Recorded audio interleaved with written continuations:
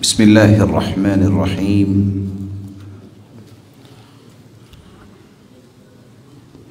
الحمد لله رب العالمين. وبه نستعين.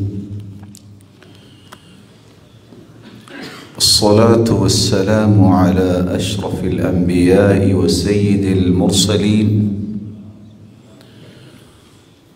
وعلى آله وصحبه ومن تبعهم بإحسان إلى يوم الدين. أما بعد فأعوذ بالله من الشيطان الرجيم.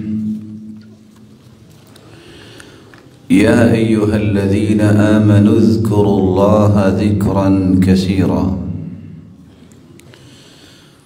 وسبحوه بكرة وأصيلا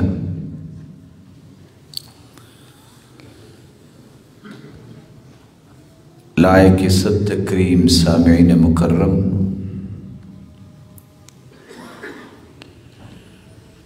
اللہ حضر الجلال ہم سب کے خالق اور مالک اور رازق ہیں۔ اس کا احسان عظیم ہے۔ جس نے رشت و ہدایت کے لیے آخری پیغمبر محمد الرسول اللہ صلی اللہ علیہ وسلم کو ہمارے لیے ہادی و مرشد بنایا۔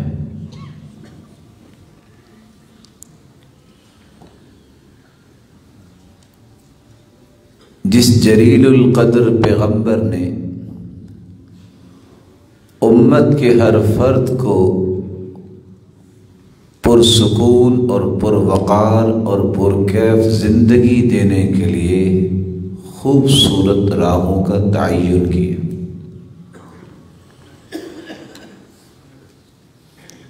ایک چیز جس میں دنیا میں کبھی بھی اختلاف نہیں ہوتا، کوئی نیک ہو یا بد،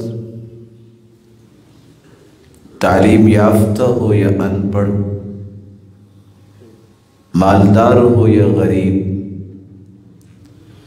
مسلمان ہو یا کافر، سب اس بات پر متفق ہیں کہ ہمیں سکون ملنا چاہیے۔ کوئی سکون حاصل کرنے کے لیے کام کرتا ہے یا نہیں کرتا؟ سکون کی راہیں اختیار کرتا ہے یا نہیں کرتا؟ لیکن یہ تمنا، یہ شوق اور ذوق ہمیشہ اس کے دل میں پنپتا نظر آتا ہے، مجھے سکون چاہیے۔ مجھے راحت چاہیے۔ مجھے زندگی میں چین چاہیے۔ کیسے سکون مل سکتا ہے؟ کیسے اس کی زندگی راحتوں سے لبریز ہو سکتی ہے؟ کیسے اللہ جلال زندگی کی چند ایام اور ان چند ایام میں ہر آنے والا دن اس کے لیے عید کی خوشی کا دن بنا سکتا ہے؟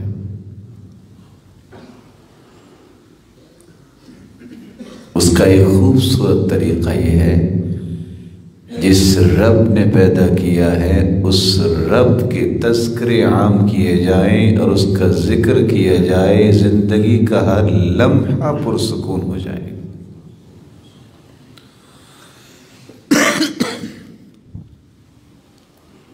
اللہ حضر جلال کا ذکر اتنی بڑی نعمت ہے اگر انسانی تمناؤں کی روشنی میں دنیاوی تمام نعمتوں کا ڈھیر لگا دیا جائے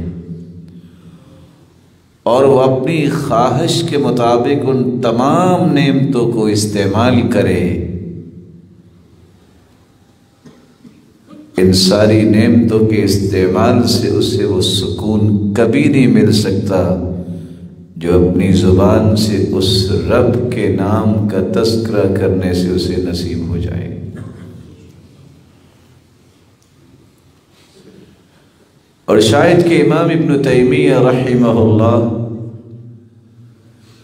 اسی لیے مثال دیا کرتے تھے۔ انسانی دل کے لیے ذکر وہ کام کرتا ہے جو سمندروں اور دریاؤں میں رہنے والی مخلوق کے لیے پانی کام کرتا ہے۔ فَكَيْفَ إِذَا فَارَقَتِ السَّمَكُ الْمَاءِ۔ ذرا کبھی دیکھا تو کریں۔ دریاؤں اور سمندروں میں رہنے والی مچھلی کو پانی سے نکال کے تو دیکھیں اس کا تڑپاؤ کیسا ہوتا ہے۔ ایک شخص اللہ کا ذکر ہی نہ کرے۔ تو اس کا مچلنا اور تڑپنا تو سمجھ میں آتا ہے۔ اگر وہ پرسکون ہونا چاہتا ہے تو اسے اس راستے کو اختیار کرنا ہوگا۔ وہ ہے اللہ ذوالجلال کے ذکر کو اپنی عادت بنانا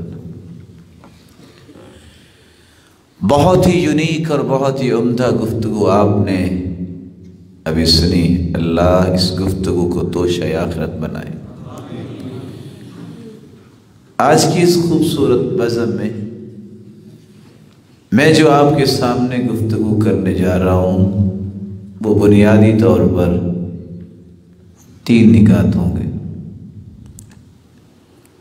سب سے پہلے تو یہ جاننا ضروری ہے کہ ذکر کس کو کہتے ہیں۔ پھر یہ بھی جاننا ضروری ہے کہ ذکر کی اہمیت و فضیلت کیا ہے۔ اور پھر اس کی بھی وضاحت کی کوشش ہم کریں گے کہ ذکر ہمیں کون کون سا کرنا چاہیے۔ اور کوشش اس بات کی بھی ہوگی کہ یہ بھی عرض کریں کہ ذکر کرنا کیسے چاہیے۔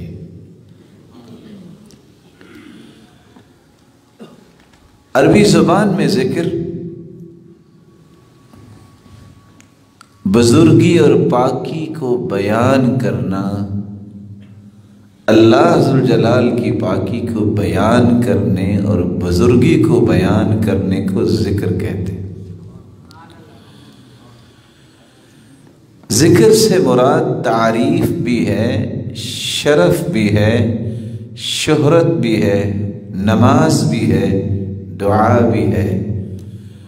دعا میں بھی اللہ کا ذکر ہو، اس کی تعریف ہو تو دعا قبول ہوتی ہے۔ نماز ویسے ہی دعاؤں کا مجموعہ ہے۔ خوش نصیب وہ انسان ہے جو اللہ کا ذکر کرتا ہے۔ وہ اللہ کی تعریف زمین پہ کرتا ہے، اللہ اس کی شہرت آسمانوں میں کرتے ہیں۔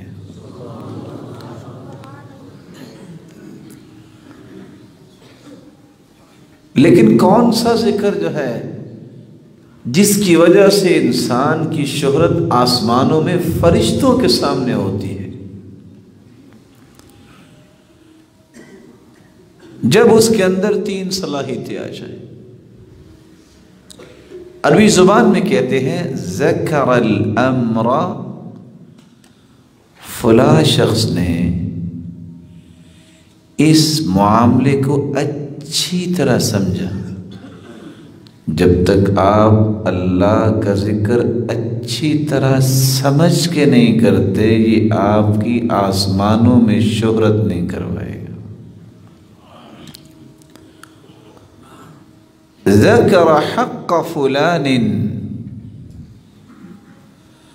عربی زبان میں کہتے ہیں اس وقت کہ فلاں شخص نے فلاں کے حق کی حفاظت کی اور اسے ضائع ہونے سے بچایا۔ جب میں اور آپ اللہ کے ذکر کو اس طرح محفوظ کریں، اس طرح اس کی حفاظت کریں، اسے ضائع ہونے سے بچائیں، اور کیسے بچائیں؟ تیسرا مرحلہ وَالذِّكْرُ مِنَ الرِّجَالِ عربی زبان میں کہتے ہیں مضبوط، بہادر آدمی کو، جس طرح بہادر اپنی بہادری کے ساتھ پوری قوم کو بچاتا ہے، جب ذکر کرنے والا ذکر کے تمام الفاظ کو صحیح ادا کرتا ہے، یہی وہ خوش نصیب ہے۔ ادھر اس کی زبان سے وہ کلمات ادا ہوتے ہیں، ادھر مالک الملک فرماتے ہیں اندرو یا ملائکتی، میرے فرشتوں دیکھو، یہ میرا بندہ مجھے یاد کر رہا ہے۔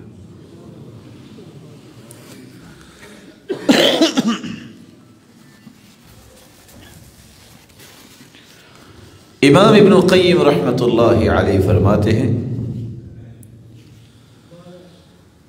ذکر کی حقیقت اس وقت تک سمجھ نہیں آ سکتی انسان کو۔ جب تک وہ ایک کام نہیں کر لیتا۔ التخلص من الغفلہ والنسیان۔ جب تک وہ غفلت سے اپنے آپ کو دور نہیں کر لیتا، جب تک وہ ذکر کرتے ہوئے سمجھ کے ذکر نہیں کرتا۔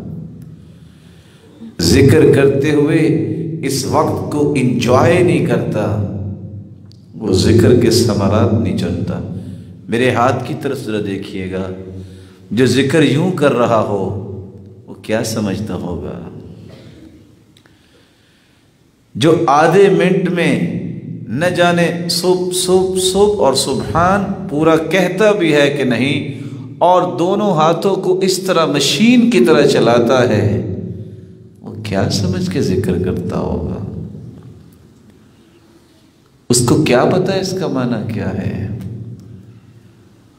وہ اس کے ثمرات کو کیسے چن سکتا ہے؟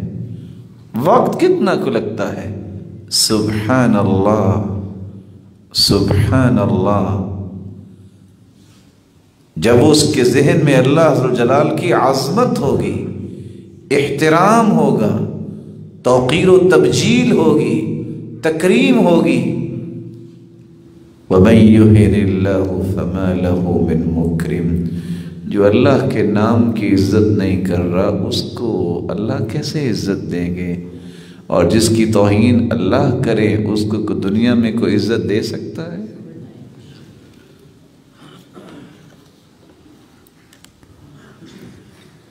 ذکر سے مراد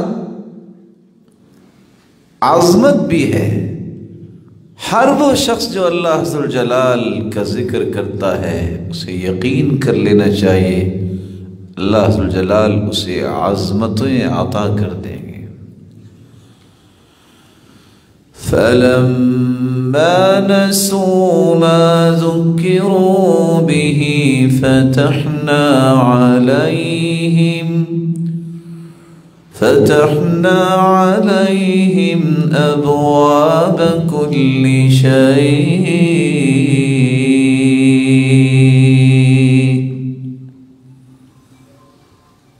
جو عظمت اللہ نے دے رکھی تھی، جب وہ بھول گئے،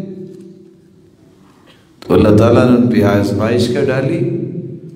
ان کو دنیا میں تو کچھ نوازا لیکن جب وہ اس نوازنے کو بھی سمجھ بیٹھے کہ شاید اللہ ہم سے راضی ہے، تو پھر ہم نے ان کی ایسی جڑ کاٹی کہ دنیا کے لیے عبرت بنا دی۔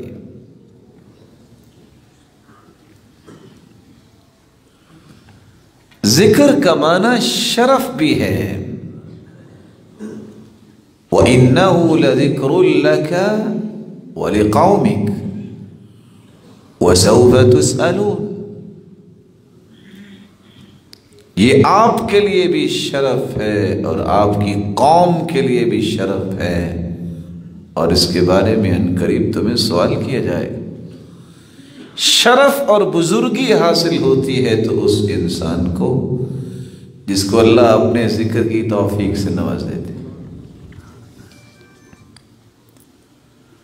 لیکن یہ عظمت اور شرف اس وقت تک نصیب نہیں ہوتا انسان کو، جب تک وہ ذکر کا یہ معنی نہیں سمجھتا کہ ذکر کا مطلب اللہ کی اطاعت بھی ہے۔ فَذْكُرُونِي أَذْكُرْكُمْ تم میری اطاعت کرو گے، میرے بندوں میں تمہیں کبھی بھلاؤں گا نہیں۔ تم میری اطاعت کرو گے، میں تمہیں بھلاؤں گا نہیں تعرف الى اللہ فی الرخا یہ عارف کفی شدہ جب تمہیں آسانیاں ملے تو اس وقت مجھے نہ بھولنا. جب تم پہ مصیبتیں آئے گی میرے بندے، میں نہیں تمہیں بلاؤں گا. تمہیں اکیلا نہیں چھوڑوں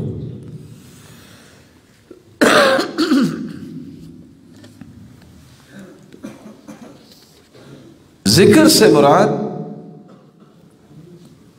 رسول اللہ صلی اللہ علیہ وآلہ وسلم کے فرامین بھی ہیں۔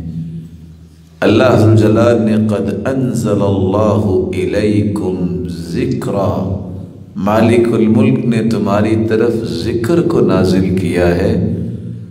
مالک الملک نے یہاں پیغمبر کو بھی اور پیغمبر کی تعلیمات کو بھی ذکر کہا ہے۔ ذکر اللہ کے ہاں قابل قبول وہی ہوتا ہے۔ جو رسول اللہ صلی اللہ علیہ وسلم سے ہم تک پہنچا، میرا، آپ کا، دنیا کے اسکالرز ڈاکٹر کا، فلاسفر کا بناوٹی ذکر ساری زندگی کرتے رہیں، ہمیں کوئی فائدہ نہیں دے گا۔ کیونکہ ذکر اگر اللہ کا ہے، تو اس کے ذکر کی صحیح پہچان رکھنے والی دنیا میں ایک ہی ہستی ہے محمد الرسول اللہ۔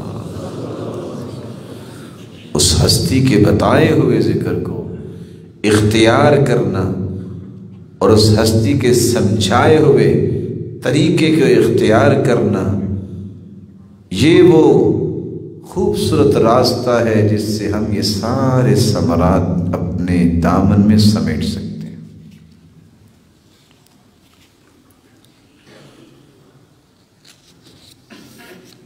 رسول اللہ صلی اللہ علیہ وآلہ وسلم نے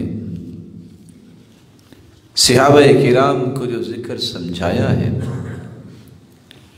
امام ابن القیم آیات کی روشنی میں فرماتے ہیں، ذکر کے تین درجات۔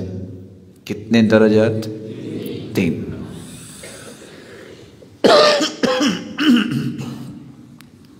پہلا درجہ ذکر کا یہ ہے، الذکر الظاہر۔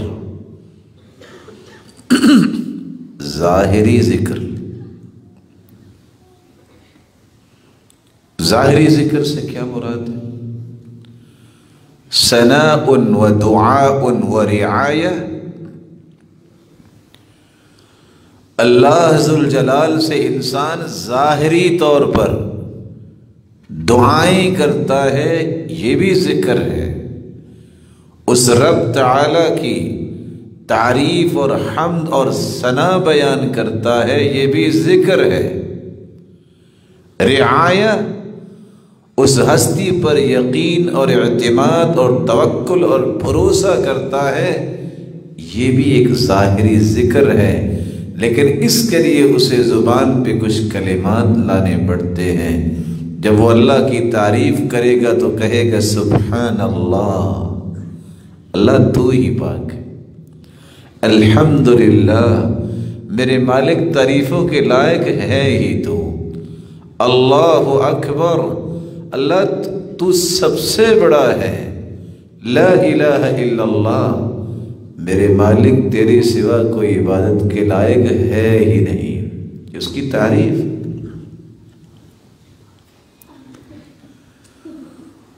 اس سے دعا کرنا یہ بھی ذکر ہے ظاہری۔ ربنا ظلمنا انفسنا وإن لم تغفر لنا۔ وترحمنا لنكونن من الخاسرين اے ہمارے پالنے والے، ہم سے ظلم ہو گیا، ہم سے کوتاہی ہو گئی۔ اے ہمارے پالنے والے، اگر تو نے بھی ہمارے گناہ معاف نہ کیے اور رحمت کی برکھا نہ برسائی، تو ہم تو پھر خسارہ پانے والوں میں سے ہو جائیں۔ دعا ہے۔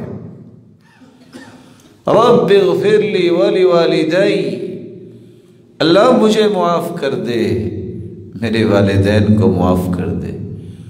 ولی مشایخی اللہ میرے اساتذہ کو معاف کر دے۔ ولی جمیع المسلمین والمسلمات، مسلمانوں کو معاف کر دے۔ مسلمان عورتوں کو معاف کر دے۔ یہ دعا تو ہے، لیکن ساتھ میں اپنے رب کا ذکر کر رہا ہوں اللہ کی رعایت اور توکل اور بھروسے کو اپنی زبان سے بیان کرنا، یہ ظاہری ذکر ہے۔ اللہ معی میرا رب میرے ساتھ ہے، کچھ نہیں ہو سکتا مجھے۔ کل ان ربی سیہدین، میرا رب مجھے راہ راس پہ رکھے گا۔ اللہ ناظر الیہ میرا رب تو مجھے دیکھ رہا ہے۔ اللہ شاہدی۔ میرا رب تو اس بات پہ گواہ ہے۔ مجھے پریشانی کس بات کی ہے؟ وَصْنَعِ الْفُلْكَ بِأَعْيُنِنَا اے نو ہمیں تم، ہم نے حکم تو دیا ہے کہ کشتی بناؤ۔ بناؤ کشتی، پریشان نہیں ہونا، ہم تمہیں دیکھ بھی رہے ہیں۔ ہماری آنکھوں کے سامنے کشتی بناؤ۔ جس شخص کو یہ اعتماد ہو جائے، کیا مطلب؟ کیا کسی کی طاقت رب سے زیادہ ہے اللہ معی۔ میرا رب میرے ساتھ ہے۔ فَهُوَ نَاظِرٌ إِلَيْ کوئی دیکھے یا نہ دیکھے کہ میرا حال کیا ہے، میرا مالک تو دیکھ رہا ہے۔ جس کی رعایت میرا مالک کرے، جس کو معیت مل جائے اس ہستی کی، اسے اور چاہیے کیا؟ رقہ کی ایک مسجد میں محمد بن سیرین کہتے ہیں، میں نماز پڑھنے کے لیے گیا۔ دس سالہ بچہ دیکھتا ہوں جو نماز عمدگی سے پڑھ رہا ہے۔ فلم انصرف، اس نے جب سلام پھیرا۔ میرا بہت دل چاہا میں تعارف کروں۔ فقلت، انت ومن انت؟ کون ہے آپ؟ قال طفل نیتی، میں تو ایک یتیم بچہ ہوں۔ میرا دل بھر آیا، میرے دل میں سوچا کہ میں اسے آفر دیتا ہوں کہ میں تیری کفالت کرتا ہوں۔ کہا، کیا خیال ہے اگر میں آپ کی کفالت کروں؟ دس سالہ بچہ، کوئی یہاں بیٹھا دس سالہ بچہ؟ شاید کہ نہ ہو۔ دس سالہ بچہ۔ کہتا ٹھیک ہے، آپ میری کفالت کرے لیکن بشروط میری کچھ شرطیں ہیں۔ میں نے کہا دس سالہ بچہ اور شرطیں ہیں۔ کون سی شرطیں ہیں آپ کی؟ تو دس سالہ بچہ بول کے کہتا ہے ستطعمنی إذا جعت. بھوک لگی تو کھانا کھلاؤ گے؟ قلت له نعم. حتى تشبع. ہاں کھانا کھلاؤں گا تم سیر ہو جاؤ گے۔ قال حسنا ٹھیک ایک شرط پوری ہو گئی۔ ستسقینی اذا أنا عطشت. پیاس لگی تو پانی پلاؤ گے قلت نعم حتى ترتوی ہاں پانی پلاؤں گا قال حسنا ٹھیک تیسری شرط ستشفینی اذا انا مرض اگر میں بیمار ہوا تو شفا دو گے فقلت له اما العلاج فاقدمه لك. فالشفاء بيد الله. میں تو دوائی دوں گا. شفا تو اس نے دینی ہے. فسکن. پہلے دو مرتبہ کہتا ہے حسن ٹھیک ہے، خاموش ہو گیا. چوتھی شرط، ستحیینی اذا انا مت. اگر میں مر گیا تو مجھے دوبارہ زندہ کرو گے؟ فقلت الحیات والممات بید اللہ وہ تو حیات کا مالک تو وہ ہے فضحک وہ مسکرایا اور کہتے ہیں فترکنی. جاؤ پھر اپنے کام سے کام رکھو. ثم یهدین. وهو الذی یطعمنی ویسقین. چھوڑو اس کے ساتھ جس نے پیدا بھی کیا، ہدایت بھی دی، جو کھلاتا بھی ہے، پلاتا بھی ہے۔ وہ ایزا مستفیٰ ہوا یشفین، جب میں بیمار ہوتا ہوں، شفا وہ دیتا ہے۔ والذی یمیتنی ثم یحیین، وہ مجھے مارے گا بھی اور دوبارہ قیامت کو زندہ بھی کرے گا۔ محمد بن سیرین کہتے ہیں، اس دن مجھے سمجھ آئی کہ توکل کا معنی کیا ہے، جس کو اللہ کی رعایت نصیب ہو جائے۔ یقین نصیب ہو جائے، میرا رب میرے ساتھ ہے۔ توکل علی اللہ وکفا۔ اس نے رب پہ توکل البھروسہ اور اعتماد کیا۔ اس دس سالہ بچے کو اللہ کافی ہو۔ تو ذکر کا پہلا مرتبہ ہے ظاہری ذکر۔ یہ ظاہری ذکر اس وقت تک طاقتور نہیں بنتا۔ اس وقت تک اس میں پاور نہیں آتی۔ اس وقت تک انسان کو مضبوط نہیں کرتا۔ جب تک وہ ذکر خفی نہیں کرتا۔ دوسرا مرتبہ ہے، یہ ذکر خفی کیا ہوتا ہے؟ هو الخلاص مع من القيود، والبقاء مع الشهود۔ ولزوم المسامرة. ذکر خفی تین طریقوں سے ہوتا ہے۔ جب تک انسان دنیا کی قید و بند سے اپنے آپ کو آزاد کر کے اللہ کا غلام نہیں بنتا، جب تک اس کے دل میں یقین پیدا نہیں ہوتا، میرا رب دیکھ رہا ہے۔ میرا رب دیکھ رہا ہے۔ اور جب تک اس رب سے ہم کلام ہونے کی چاہت اور تمنا اور تڑپ نہیں ہوتی کہ دن کو نہیں، میں نے رات کو چپکے سے اس سے باتیں کرنی ہیں، جو میں بات کروں گا وہ پوری کرے گا۔ جب تک یہ تین چیزیں ذکر خفی کی اختیار نہیں کرتا، اس کے ظاہری ذکر میں قوت نہیں آتی امام ابن القیم رحمۃ اللہ علیہ ذکر کا تیسرا مرتبہ بیان کرتے فرماتے ہیں شہود و ذکر الحق والتخلص من شہود ذکرک ذکر کا تیسرا مرتبہ یہ ہے جب بھی اللہ کا ذکر کرو تو دو چیزیں نہ بھولو۔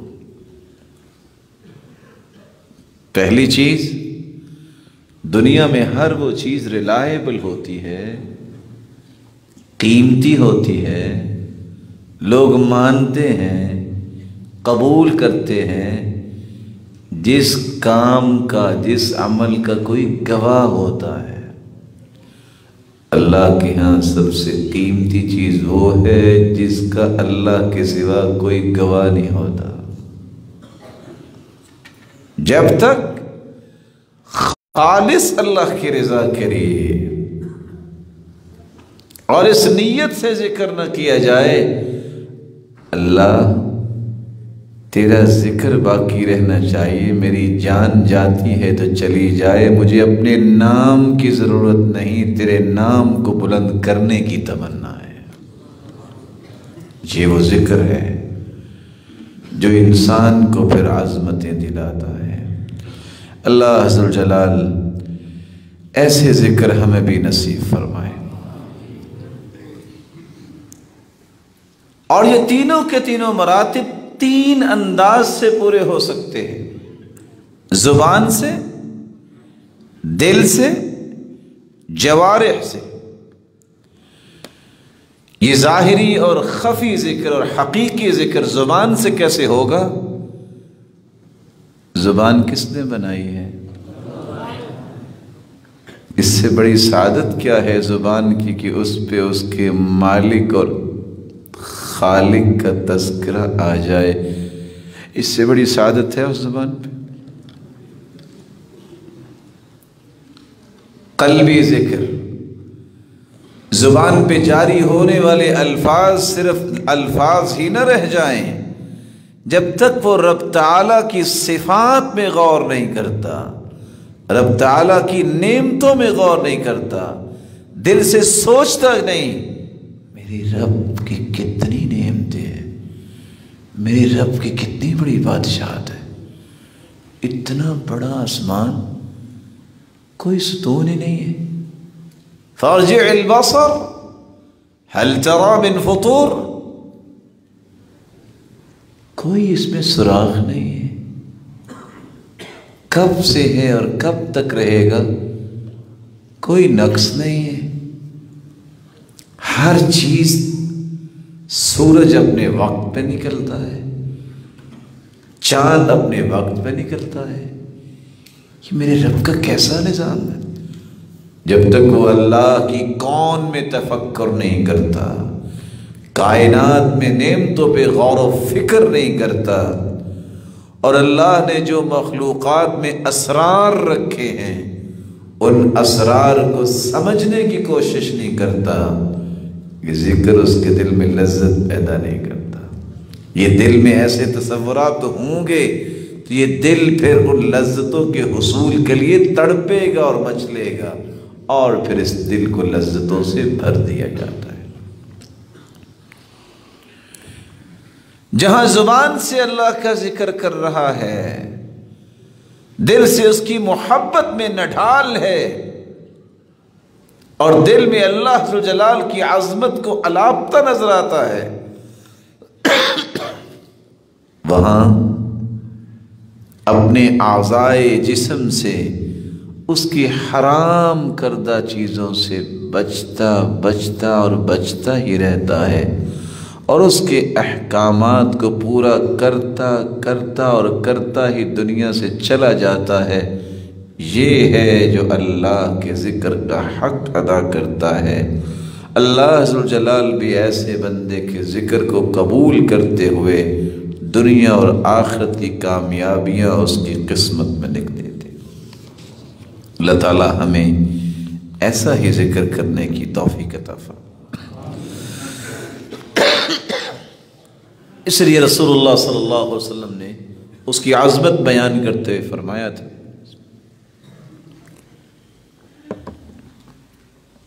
صحیح الجامع کی روایت ہے five one five eight two seven مثل البيت الذي يذكر الله فيه والبيت الذي لا يذكر الله فيه مثل الحي والميت.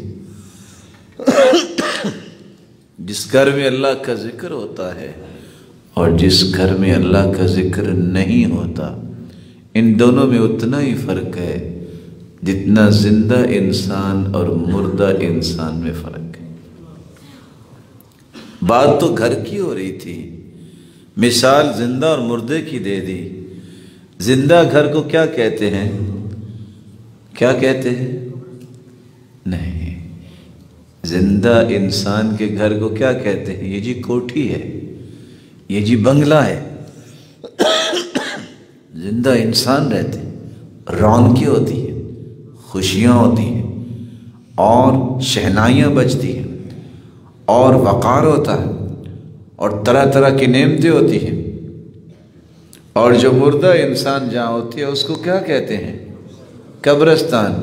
وہاں سانپ ہوتے ہیں، بچھو ہوتے ہیں، اور چور اور ڈکیت چھپتے ہیں۔ ایسا ہی ہے۔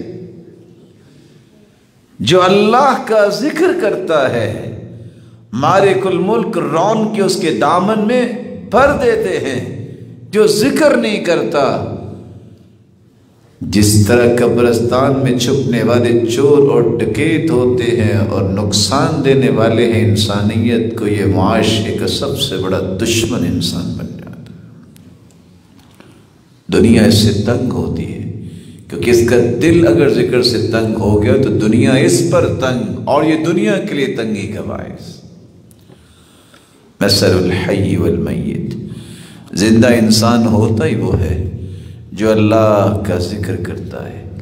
مثل الذي يذكر ربه والذي لا يذكر ربه مثل الحي والمیت۔ صحیح بخاری کی روایت ہے سکس زیرو ڈبل فور جو اللہ کا ذکر کرتا ہے۔ وہ تو زندہ انسان ہے اور جو اللہ کا ذکر نہیں کرتا وہ تو ایک لاشا چلتا پھرتا ہے، کسی نے دیکھنا ہے تو دیکھ لے۔ رسول اکرم صلی اللہ علیہ وسلم نے ایک دوسری عظمت بیان کی۔ ذکر ایسی نعمت ہے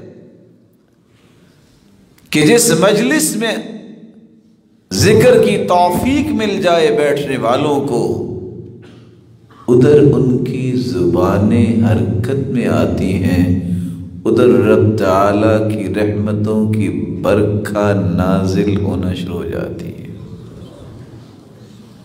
میں جلس قوم یذکرون اللہ صحیح الجامع فائیو سکس زیرو ایٹ۔ جو قوم اللہ کے گھر میں بیٹھ کے ذکر کرتی اللہ حفتهم الملائکہ اس مجلس کو پروٹوکول دینے کے لیے اللہ خربوں فرشتے بھجوا دیتے ہیں۔ جو میری اور آپ کی آنکھیں تو نہیں دیکھتی۔ میں نے اتنا بڑا لفظ بول دیا ہے، ویسے نہیں بولا۔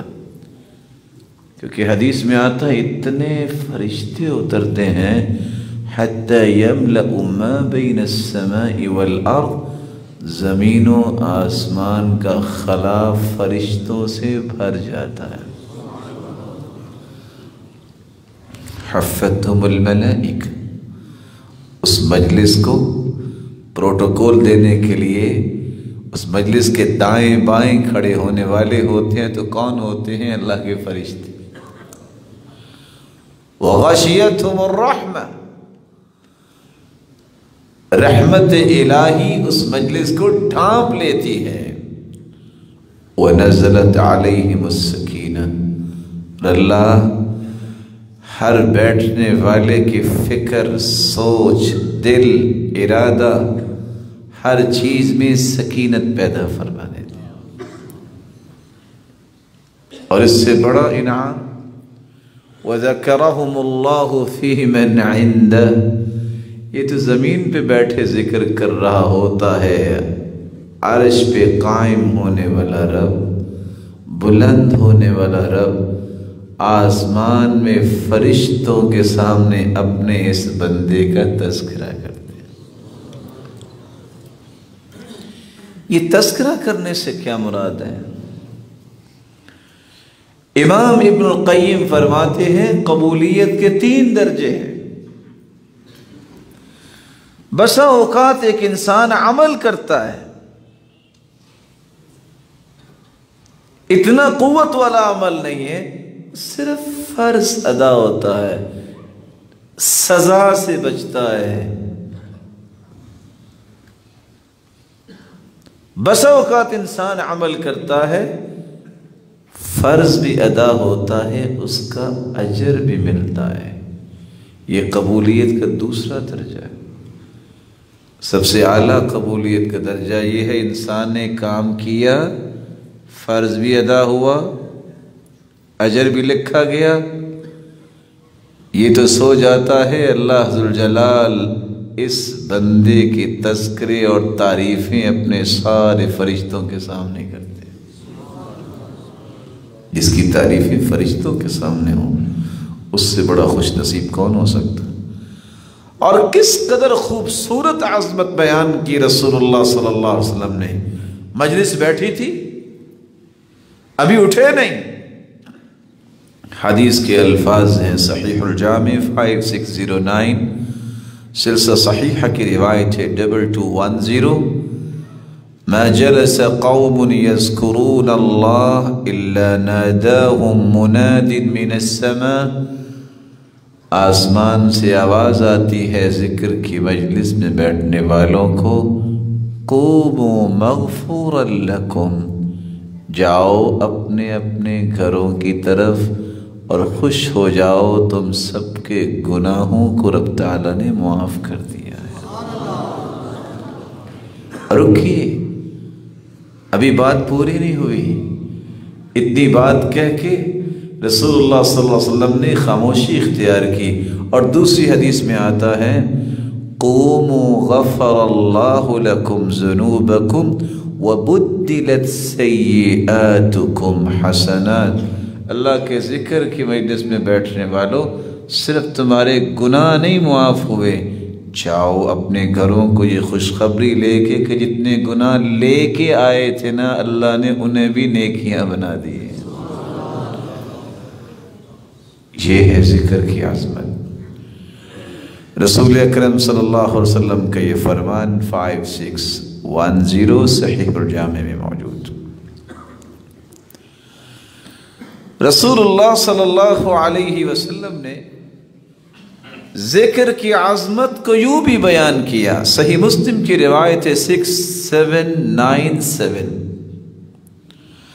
خرج رسول اللہ صلی اللہ علیہ وسلم على حلقہ من اصحابی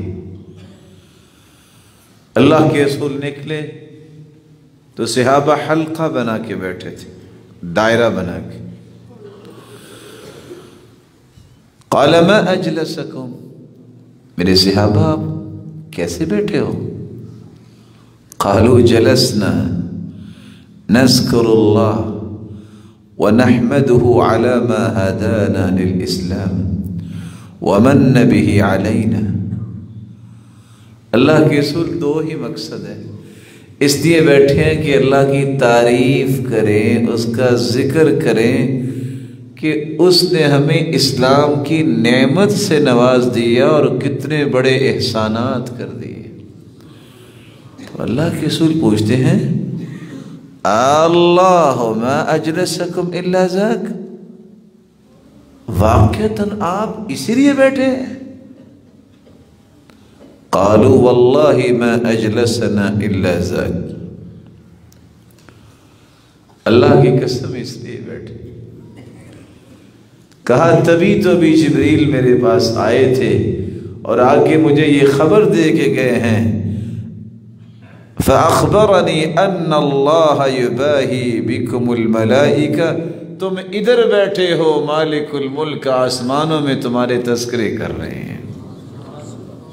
رسول اللہ صلی اللہ علیہ وآلہ وسلم نے فرمایا تھا، صحیح الجامع کی روایت ہے، کتنا خوف ہے انسان کو اور ہونا بھی چاہیے عذاب قبر سے۔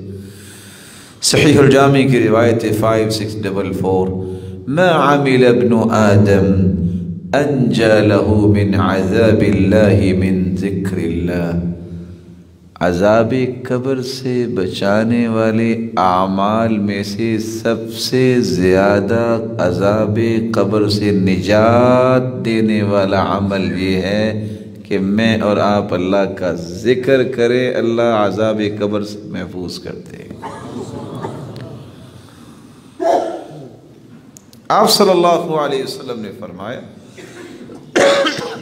صحیح الجامع ٹو سکس ٹو نائن الا انبئکم بخیر اعمالکم، میرے صحابہ میں سب سے بہترین کام نہ بتاؤں وَأَزْكَاهَ عِنْدَ مَلِكِكُمْ سب سے پاکیزہ کام جو اللہ کے ہاں متصور کیا جائے، اس کے بارے میں نہ بتاؤں۔ وَعَرْفَعِهَا فِي دَرَجَاتِكُمْ میں ایسا کام نہ بتاؤں جس سے تمہارے درجے بلند اور بلند ہی ہوتے رہے۔ وَخَيْرُ لَكُمْ مِنْ إِنفَاقِ الذَّهَبِ وَالْوَرِقِ اور میں ایسا کام نہ بتاؤں کہ سونا اور چاندی تم خرچ کرو، اللہ کی راہ میں تو اس سے بھی زیادہ اجر ملے۔ وَخَيْرُ لَكُمْ مِنْ أَن تَلْقَوْ عَدُوَكُمْ فَتَضْرِبُوا أَعْنَاقَهُمْ وَيَضْرِبُوا أَعْنَاقَكُمْ میں ایسا عمل نہ بتاؤں کہ تم میدان جہاد میں اترو، دشمن سامنے ہو، تم ان کی گردنیں اڑا دو، وہ تمہیں شہید کر دیں۔ پانچ باتیں رسول اللہ صلی اللہ علیہ وسلم نے جب فرمائی، تو صحابہ کہتے ہیں پہلا کیوں نہیں؟ کہا، اگر چاہتے ہو کہ سب سے بہترین کام چاہتے ہو کہ سب سے زیادہ جس سے درجات بلند ہوں، سب سے زیادہ جو پاکیزہ کام ہے، سونے اور چاندی سے بھی زیادہ اجر مل جائے اللہ کی راہ میں خرچ کرنے سے۔ شہادت سے بھی بڑا تمہیں درجہ مل جائے۔ تو ایک کام کر لو۔ ذکر اللہ اللہ کا ذکر کر لیا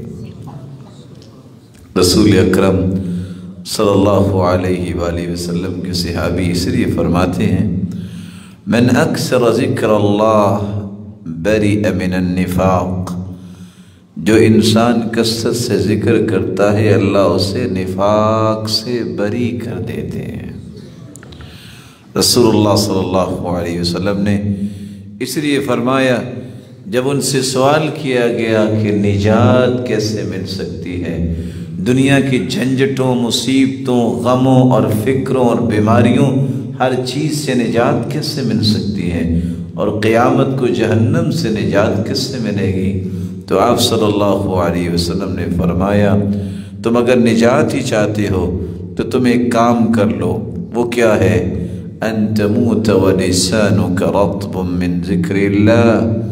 اس حالت میں تم دنیا کو چھوڑ کے جاؤ کہ تمہاری زبان پہ اللہ کا ذکر ہو۔ رسول اکرم صلی اللہ علیہ وآلہ وسلم کے اسی قول کی روشنی میں امام ابن تیمیہ نے فرمایا تھا الذکر للقلب مثل الماء للسمك فكيف يكون حال السمك اذا فارق الماء؟ انسان کے دل کے لیے ذکر اتنا ہی ضروری ہے جتنا مچھلی کے لیے پانی ضروری ہے۔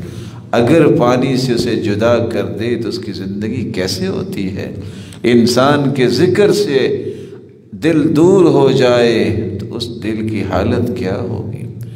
حسن بصری اس لیے فرمایا کرتے تھے، تفقد الحلاوہ فی ثلاثت اشیاء۔ لذت مٹھاس، حلاوت، خوشی، تین چیزوں میں تلاش کیا کرو۔ فی الصلاة وتلاوة القرآن والذکر قرآن پڑھتے وقت، ذکر کرتے وقت، نماز پڑھتے وقت۔ اگر تو آپ کو لذت آتی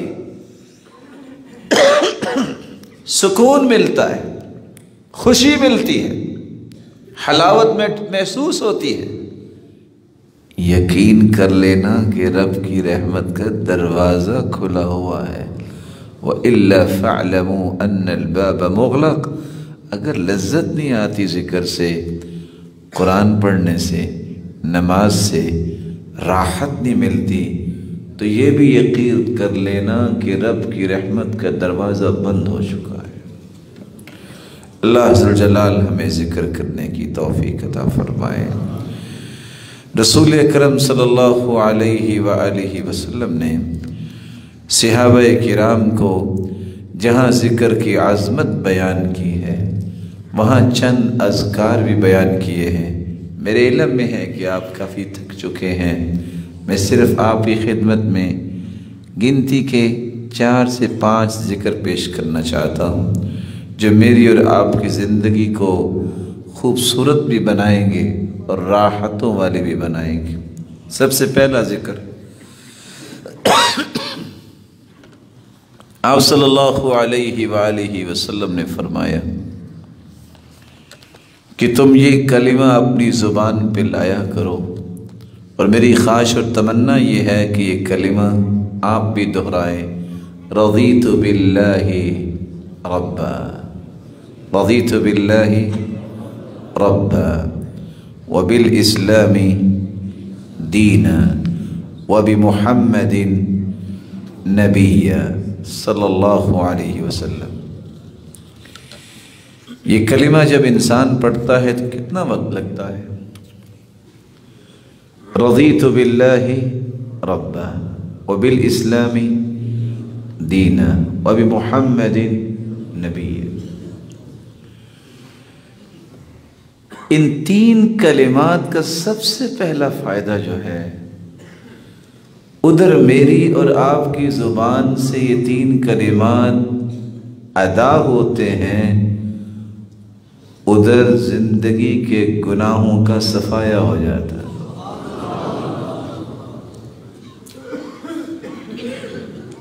اس کا دوسرا فائدہ یہ ہے، رسول اکرم صلی اللہ علیہ وآلہ وسلم نے جو صحابہ کرام کو سمجھایا ہے، اگر تمہیں دنیا میں رہتے ہوئے کسی بادشاہ کے ظلم سے خوف ہے کہ مجھ پہ ظلم نہ کرے یہ کلمات زبان پہ تم لے آؤ، بادشاہ کے ظلم اور اس کی شرارت سے تمہیں میرا مالک محفوظ کر دے گا۔ تیسرا فائدہ، جو صبح شام تین تین مرتبہ اس کو پڑھ لے اور آزان سننے کے بعد تو آپ پڑھتے ہی ہوں گے۔ اس قدر خوش نصیب انسان ہے جس دن کوئی کسی کے کام نہیں آئے گا، اس کی سفارش اور شفاعت کرنے والے محمد مصطفیٰ ہوں گے۔ چوتھا انعام۔ اللہ کے سل فرماتے ہیں، نزعیم۔ میں ہوں زمانتی۔ اللہ کے پیارے پیغمبر، کس چیز کا؟ فرمایا، لَآخُذَنَّهُ بِيَدِهِ۔ میں ضمانت دیتا ہوں، میں اپنے ہاتھ سے اس کا ہاتھ پکڑ کے اسے جنت میں داخل کروں۔ اور پانچویں روایت کی الفاظ کیا ہے؟ جو یہ کہہ دیتا ہے، وَجَبَتْ لَهُ الْجَنَّةِ، اس کر یہ جنت واجب ہو جائے۔ اور چھٹے الفاظ کیا ہیں؟ كان حقا على الله ان يرضيه يوم القيامه قیامت کا دن ہوگا، یہ جنت میں تو چلا گیا۔ اللہ اسے نعمتیں دیتے جائیں گے، دیتے جائیں گے، حتیٰ کہ فرمائیں گے، تمنا یا عبدی، میرے بندے تمنا کرو، فیتمنا حتی تنقطع الامانی۔ وہ تمنا کرے گا، اللہ وہ پوری کر دیں گے، حتیٰ کہ خواہشیں اور تمنائیں بھی ختم ہو جائیں گی۔ جب تک یہ بول کے نہیں کہے گا، رضیت یا رب، میرے رب، اب میں راضی ہو گیا، اس وقت تک رب تعالی جنت میں نعمتیں دیتے ہی جائیں گے۔ ایک چھوٹا سا وعدہ لے سکتا ہوں؟ پہلے یہ تین کلمات سنائیں۔ رضیت باللہ ربا.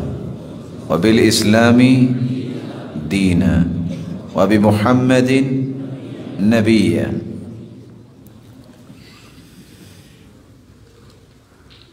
پڑھا کریں گے اس کو؟ یہ جتنے مبارک چہرے بیٹھے ہیں، یہ سننے والے ہیں، اگر اتنے یہ کلمات پڑھنے لگ جائیں تو ہمارے بیٹھنے کی قیمت واپس آ گئی۔ دوسرا ذکر اللهم صل على محمد وعلى آل محمد كما صليت على إبراهيم وعلى آل إبراهيم إنك حميد مجيد. اللهم بارك على محمد وعلى آل محمد كما باركت على إبراهيم. وعلى آل إبراهيم إنك حميد مجيد. ویسے تو سب کو یاد ہے نا رسول اکرم صلی اللہ علیہ وسلم کا فرمان ہے، اگر اس کو دس مرتبہ پڑھے تو کتنا کو وقت لگے گا؟ یہ بات طے شدہ ہے کہ قیامت کو کوئی جنتی جنت میں نہیں جائے گا جب تک اللہ کے رسول کی سفارش نہیں ہوگی۔ اور حدیث کہتی ہے، صحیح الجامع کی روایت ہے سکس ٹو ڈبل تھری جو دس مرتبہ صبح درود پڑھ لے، دس مرتبہ شام کو پڑھ لے، خوش ہو جائے، محمد کریم اس کی سفارش کر دیں گے دس نیکیوں تو ملیں گی، دس گناہ تو معاف ہوتے ہیں، دس درجے تو بلند ہوتے ہیں۔ لیکن کمال یہ ہے کہ قیامت کے دن سفارش بھی ملے گی تو کس ہستی کی؟ محمد مصطفیٰ کی۔ اور دنیا میں صرف دس نیکیاں ہی نہیں ملے گی، دس گناہ ہی معاف نہیں ہوں گے۔ حدیث میں آتا ہے، اذن تکفا ہمک ویغفر لک ذنبک میرے صحابی، تم کہتے ہو، کتنا درود پڑھو، جتنا بھی پڑھ لو، اتنا ہی کافی ہے۔ اگر تم درود ہی پڑھتے رہو، تو زندگی کے سارے گناہوں کو اللہ معاف کر دیں گے اور سارے غموں کو خوشیوں میں تبدیل کر دیں گے۔ پڑھا کریں گے۔ ویسے کبھی آپ پڑھ کے دیکھیں اور اکیلے بیٹھ کے ذرا پڑھیے گا۔ مجھے امید واسق ہے کہ آپ کی زبان جو ہے اس میں لذت ضرور آئے گی۔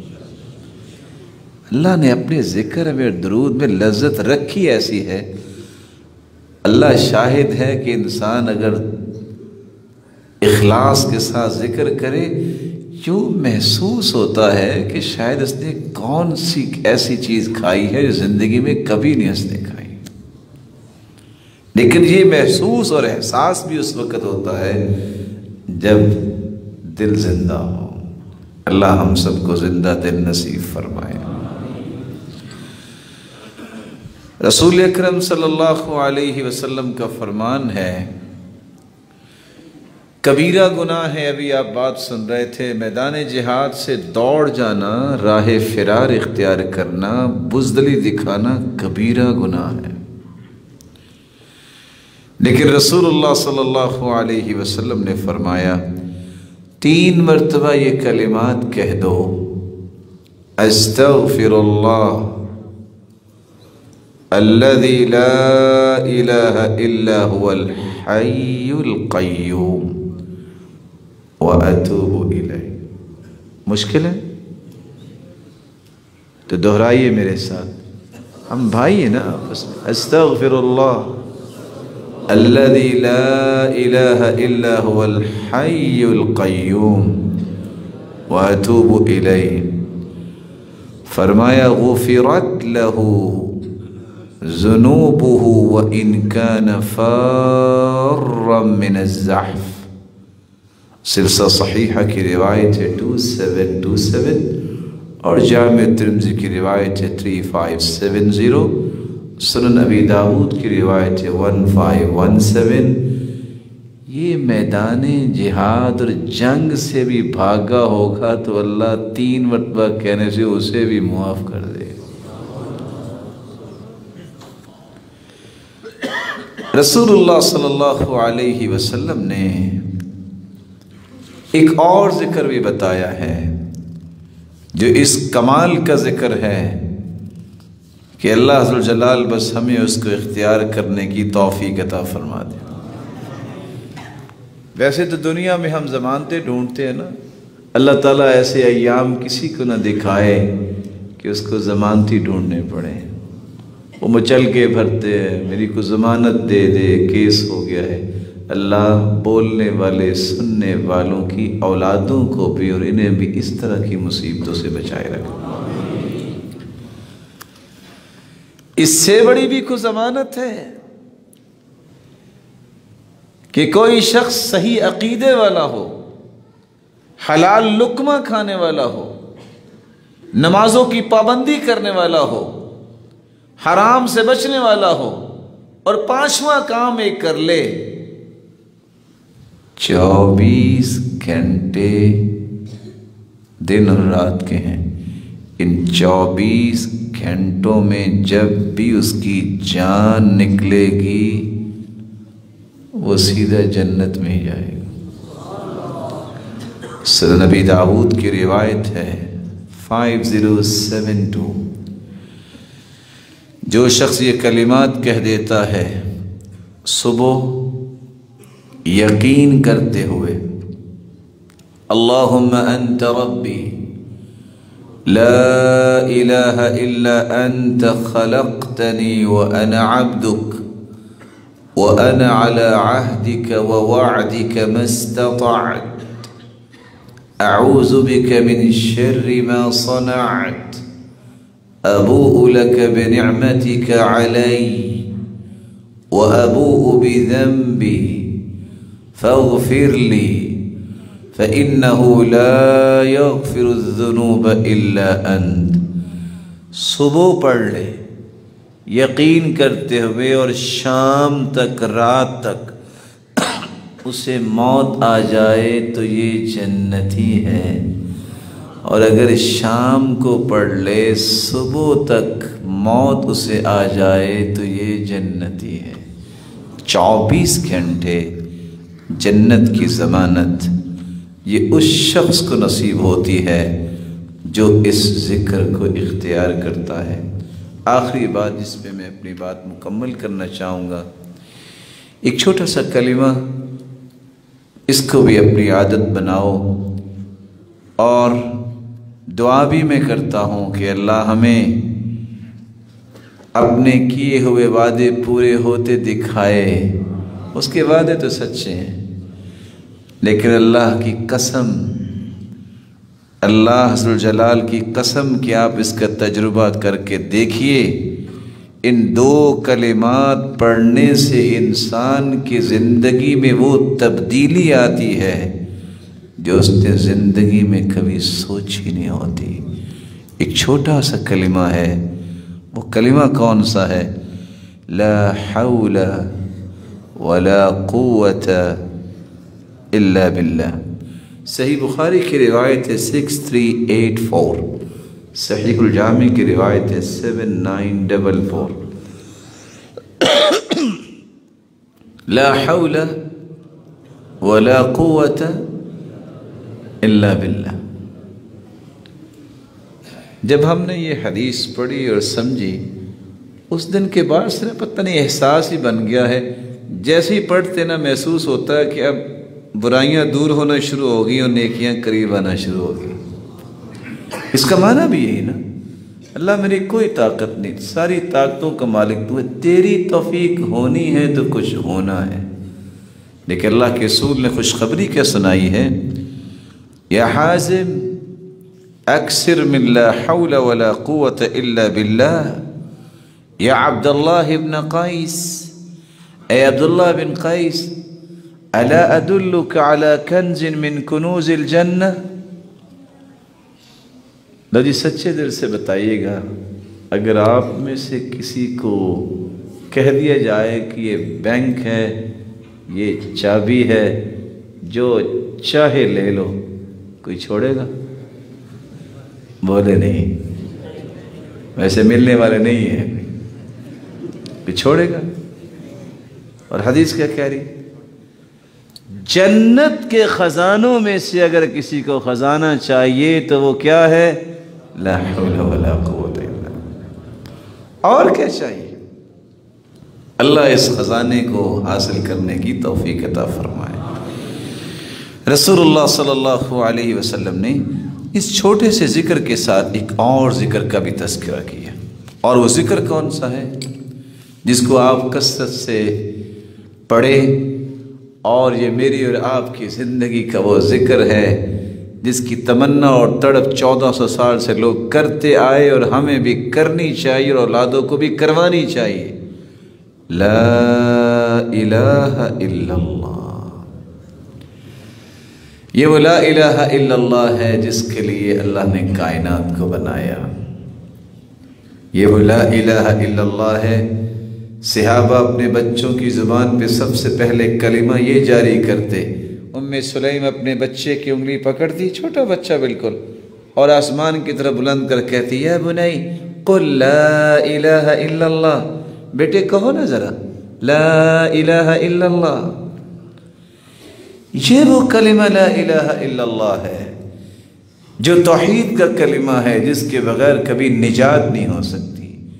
یہ وہ کلمہ ہے من كان آخر كلامه لا الہ الا اللہ دخل الجنہ جس کی زندگی کے آخری سانس جاری ہو اور ختم ہو رہے ہوں اور اس کی زبان پہ یہ کریمہ جاری ہو گیا، ادھر کریمہ جاری ہوگا، ادھر یہ جنتی مہمان بن جائے گا۔ لیکن یہ بات یاد رہنی چاہیے، لیکن یہ بات یاد رہنی چاہیے۔ موت کے وقت زبان پہ وہی کچھ آتا ہے جو زندگی میں بار بار زبان پہ آتا ہے۔ امام ابن القیم فرماتے ہیں نا، وہ ایک کپڑے کا سوداگر تھا، جب اس کی جان نکلنے لگی تو اس کو لوگ کہتے قل لا الہ الا اللہ، لا الہ الا اللہ پڑھو۔ وہ کہتا ہے حید القماش بدرہمین وحید القماش بعشرت دراہم یہ دو دینار کا ہے، یہ دو درم کا ہے، یہ دس درم کا ہے۔ وہ کہیں کلمہ پڑھو اور اسی طرح کہتا کہتا مر گیا۔ شراب نوشی کرنے والے کو کہا، قل لا الہ الا اللہ، کلمہ پڑھو۔ تو آگے سے کیا کہتا ہے؟ اشرد انت، ثم اسقنی، پہلے تم خود پی لو، پھر مجھے پلانا۔ اور اسی طرح کہتا وہ مر گیا۔ جو کام انسان کرتا ہے دنیا میں، موت کے وقت وہی یاد آتا ہے۔ بعض کس سے سبق دیتے ہیں، اتفاق سے میں ریاض میں جانا تھا کچھ ریکارڈنگ کے لیے۔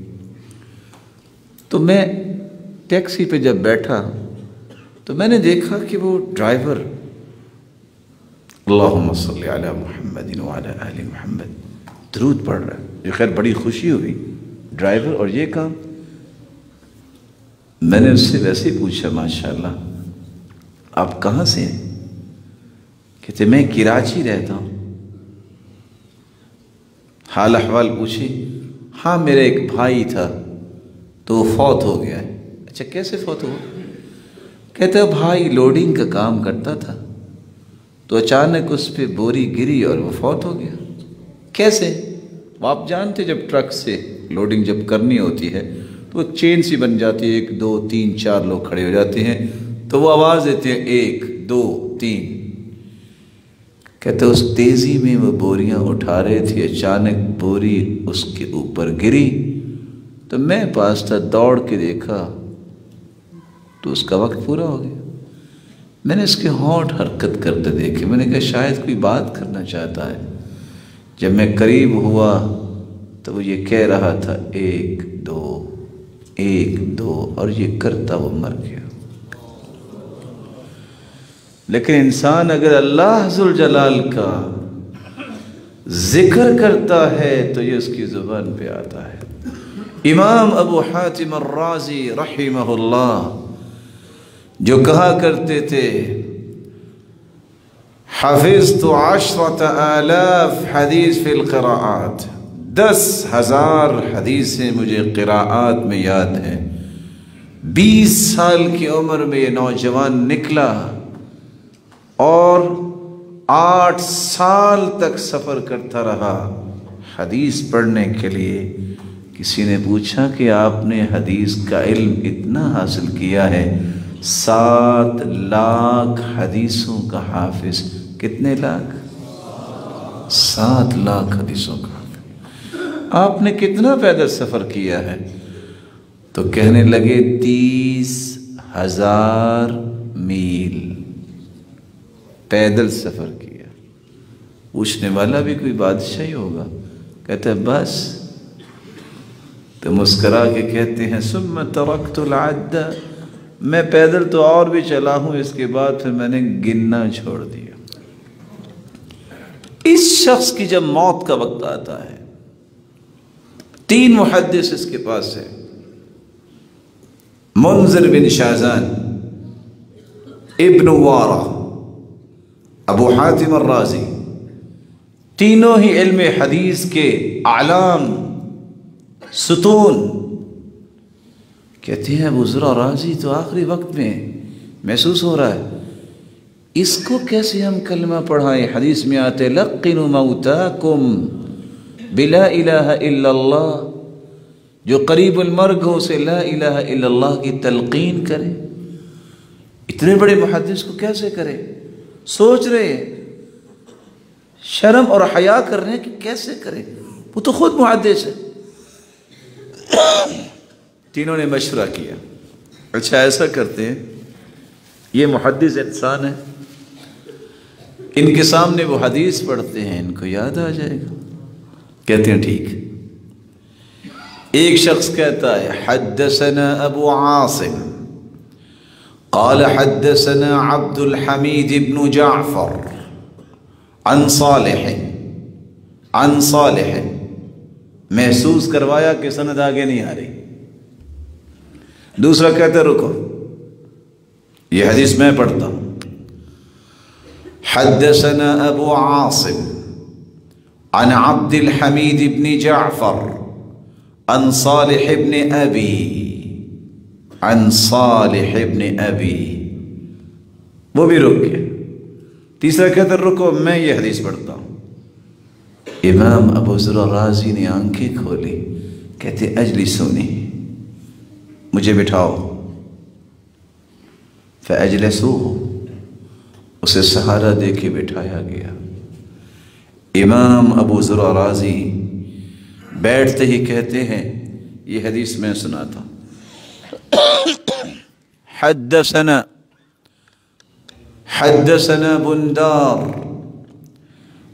قال حدثنا أبو عاصم قال حدثنا عبد الحميد بن جعفر عن صالح بن أبي عريب عن كثير بن مرة الحضرمي عن معاذ بن جبل رضي الله عنه قال قال النبي صلى الله عليه وسلم من كان آخر كلامه لا إله إلا الله. دخل الجنہ کے لفظ نہیں بولے مسکرائے اور اللہ کے پاس چلے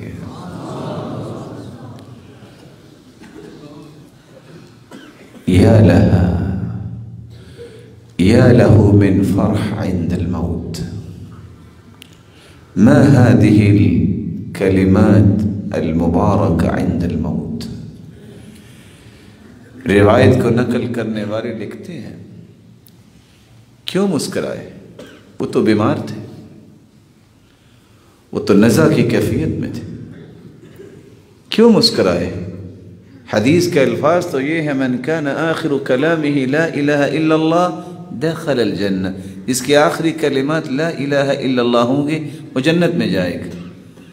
استدلال سلسہ صحیحہ کی روایت سے لیتے ہیں علماء کہ ادھر جسم پہ میخے لگائی ہوئی تھی آسیہ علیہ السلام کے فرعونیوں نے،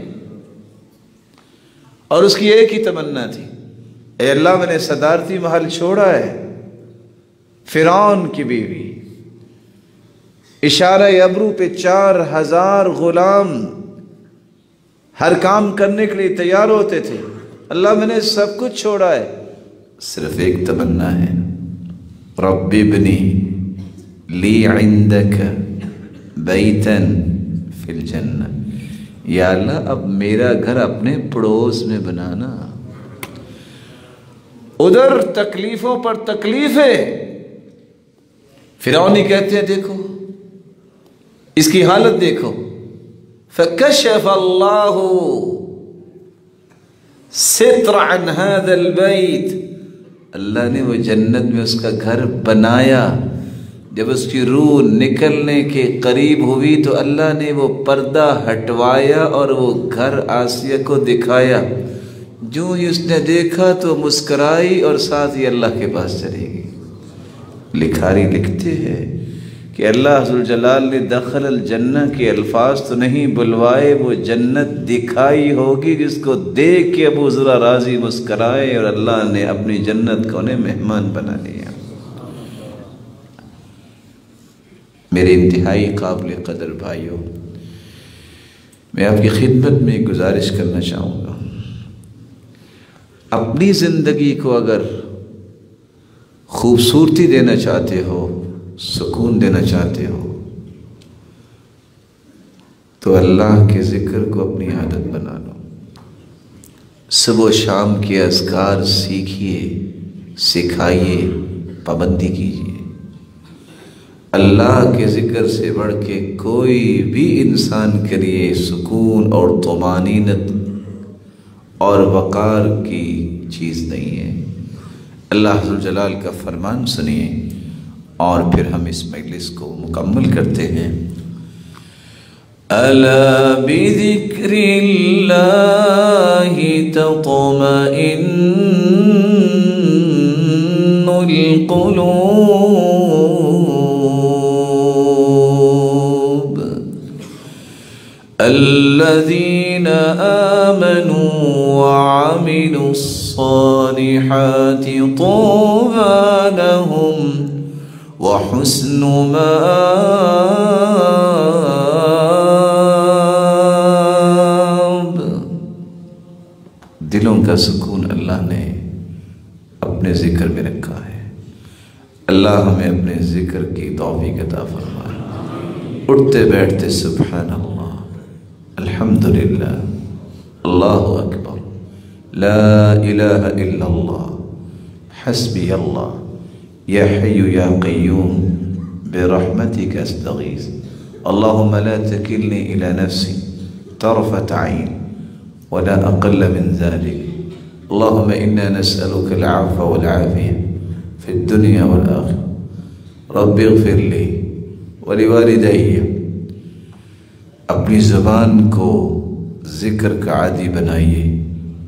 مولائے کریم سے دعا ہے۔